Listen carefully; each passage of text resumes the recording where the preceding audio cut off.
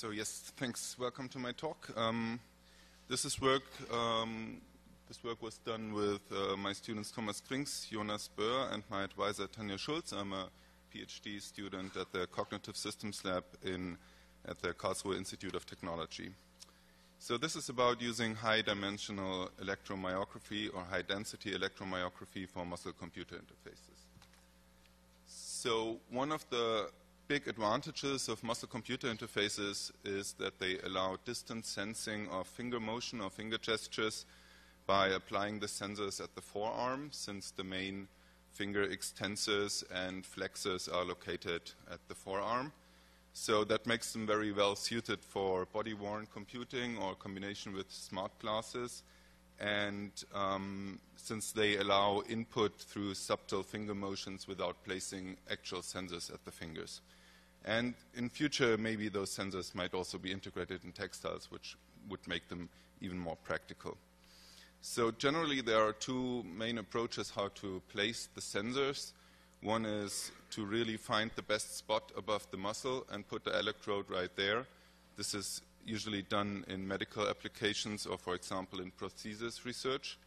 And the other approach is to use an array-like arrangement of electrodes. Electrodes are arranged in a regular grid and then placed around the forearm. Um, that allows uh, fast application or detachment and is the primary approach used in HCI applications. Usually small arrays are used with 8 to 16 electrodes. So the outline of our work, we explore the use of high-density electromyography, which is basically taking this array approach um, to the next level by using an array with a large number of electrodes. We create a simple but strong baseline classifier, evaluate it in a within and cross-session context, um, show two methods to cope with the electrode shift that usually occurs if you reattach it in different sessions that you can't find exactly the same position of the, of the electrodes. And uh, finally, we also release the data set uh, to the public so everybody can play around with that. So looking at the related work, we have um, several studies for the within session case. So you use the same uh, session data for training and testing. And uh, in this case, usually quite high accuracies uh, can be reached. Um, people took different gesture sets, different number of electrodes, different actual uh, gestures and number of gestures. And for the cross-session case, there's work, for example, by Saponas here at CHI 2010 um, that tries to discriminate three classes of different uh, finger gestures. Um, but he really built a variable uh, online uh, system. And for the cross-subject case, there is a study by Samadani 2014 and they use a prototypical Myo device uh, to discriminate 21 classes and reach an accuracy around 50%. So generally, it's hard to compare all those studies because everybody uses different gesture sets, different number of gestures, different electrode setup. But what we can see is that within session works quite well, cross session is hard, cross subject is even harder. Uh, this is due to um, the different anatomy of users and also um, the cross-session case is also hard because it, uh, the, the, signal heavily depends on, for example, skin conductance and, and changes on a daily basis. So we use, um, as I said, high-density electromyography. Here you can see um, one of the arrays we used. So this is off-the-shelf hardware. We didn't actually build the hardware. Um, so the the array has 192 electrodes and it allows um, to get an image of the signals with a high spatial resolution. So the inter-electrode distance is 10 millimeters and uh, we wrap the array around the forearm so it's uh, flexible. Here you see our setup. Number one is the, is the array which is fixed with uh, some straps to the forearm. The subject is sitting in front of a screen. He gets the stimulus, what kind of movement he needs to do in a, in a graphical way. And in parallel, we um, look at the signals and make sure that there are not too many artifacts or, or other distortions in there. So you can see clearly that this is uh, like far away from being mobile or even wearable. Um, I mean, this is lab hardware, uh, which is usually used in, for, for medical research. Uh, so this could be miniaturized, uh, and I think if you don't need 192 electrodes, there might be uh, solutions readily available to miniaturize this in a, in a wearable way. So this is the gesture set we used. Uh, um, there are three subsets, the tap set, the bend set, and the multi-finger set. The tap set consists of tapping gestures, hand lying flat on the desk and um, tapping is done. Then the bend set consists of bending uh, each finger and also pinching against the, against the thumb. And the multi-finger set has various uh, gestures involving multiple fingers, also sometimes only discriminated in the amount of force you apply. So, for example, 20 is uh, performing a fist without force, 21 is performing a fist with force.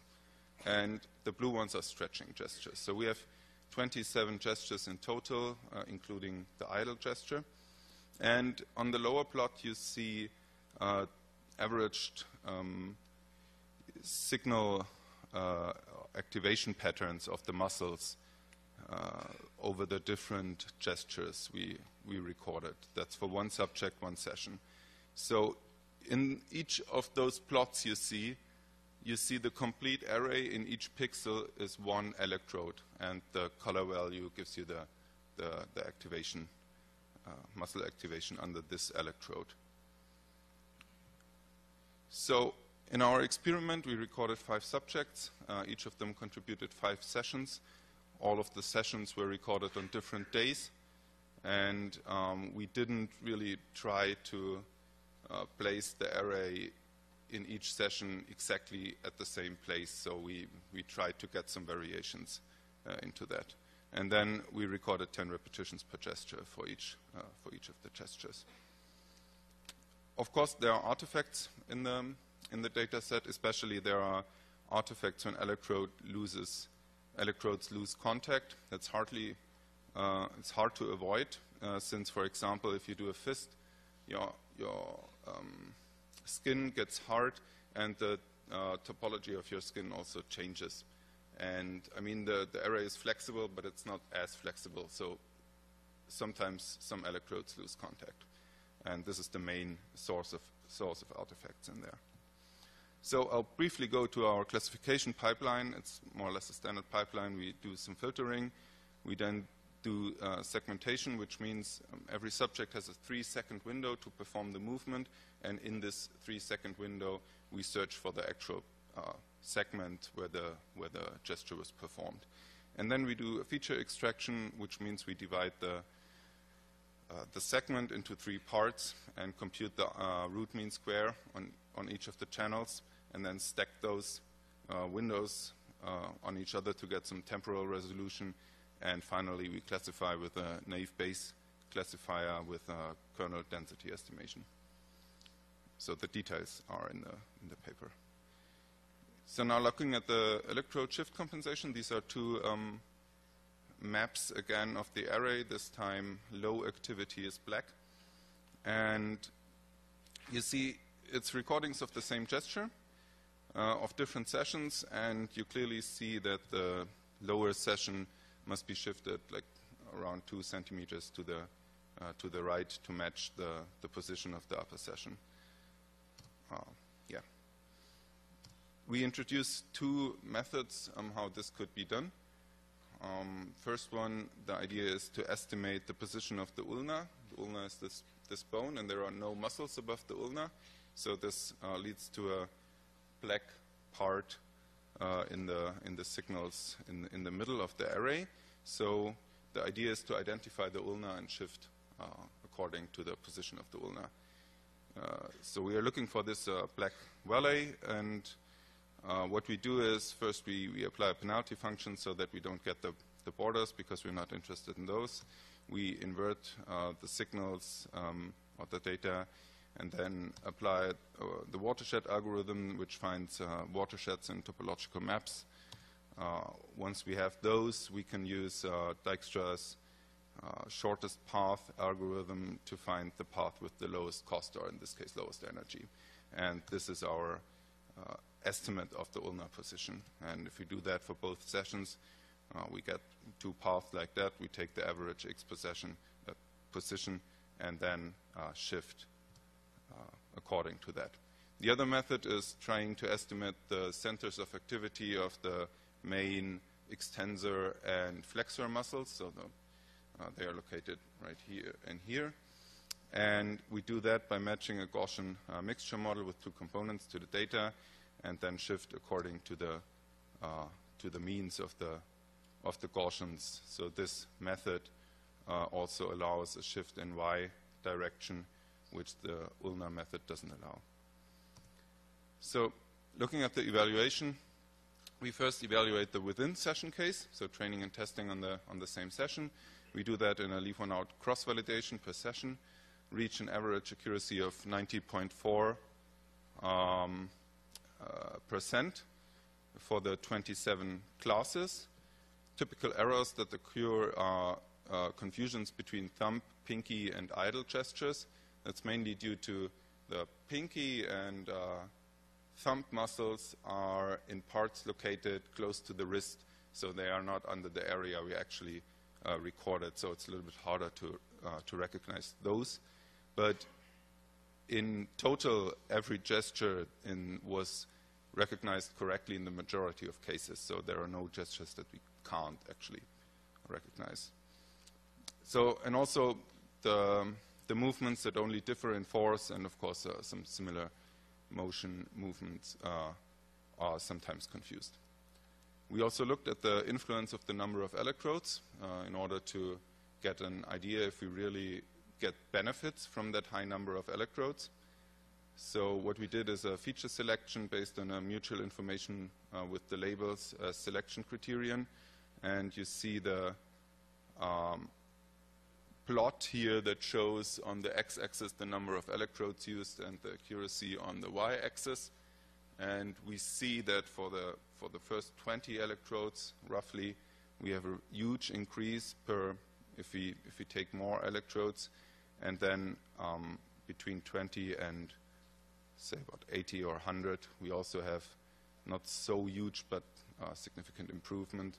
And then it after 100 electrodes, it starts to, to saturate. For the cross-session uh, evaluation, we looked at, uh, uh, we, we did a leave one, out session, uh, leave one session out cross-validation for each subject, and we compared our methods for estimating the electrode shift with a baseline. that means we just did the evaluation without applying any shift so we reach about 58%, 58.9% for the baseline and get around 75% for the, for the two methods. So there is no difference between the two methods. And when looking at the uh, shifts, they, which they actually estimate, they are roughly the same. So we don't get any uh, additional information from, from also being able to to shift in the y uh, direction because all the muscles are in this direction. So it doesn't matter so much if, if we have some shift here. Uh, we also looked at what, what would be the best calibration gesture, which gives us the best shift estimates, and this is stretching out all fingers. Uh, means uh, we get the clearest result to estimate the different uh, the, the shifts between sessions. So what we finally did is we also looked at what we get from reducing the set of used gestures. Maybe, for example, um, if, if you really want to design uh, an interface, you probably don't use 27 or 26 different gestures. You might use five or 10. And we selected some based on common sense. We used some that we thought might be uh, well working for an interface uh, and also which are uh, easy to discriminate well discriminable. And for the case of five gestures, for example, we almost reach 99% within session accuracy and an accuracy of 94.6% for the for the cross-session case. So this decreases as the more gestures you uh, you take in your set, of course, but the accuracies are, are still quite high. So to sum that up, we have a high number uh, of electrodes, and, and we showed that this, get, that this uh, is a clear, has a clear benefit on the recognition.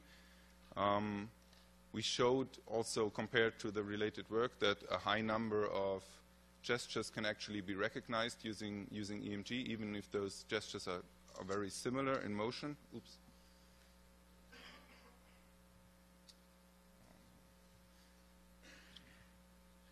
And um, we also showed that the shift estimation strongly improves the cross-session uh, recognition. Both methods work basically equally well.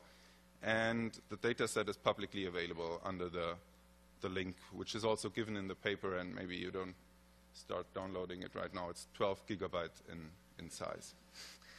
And um, the data set for, for future work, I mean, the data set there are a lot more possibilities than what we showed in this initial uh, publication, since, for example, uh, you can look at, uh, try to apply source separation techniques um, to really find the, uh, a relation between the observations you do and the, the sources in, in, in, I mean, the different muscles that, that are actually involved. And um, yes, and the work was supported by Google through a Google Research Award. So thanks, and I'm happy to take any questions.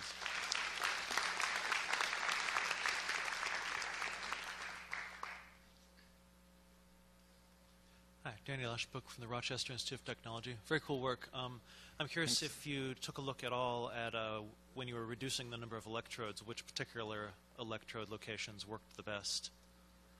Okay, when when we look at that, it's uh, there is not like a clear pattern, but you see it's uh, out of the uh, main activity uh, clusters, but you can't um, see like a clear mapping between like the first electrodes fit to the to what you think is the is the eight involved muscles.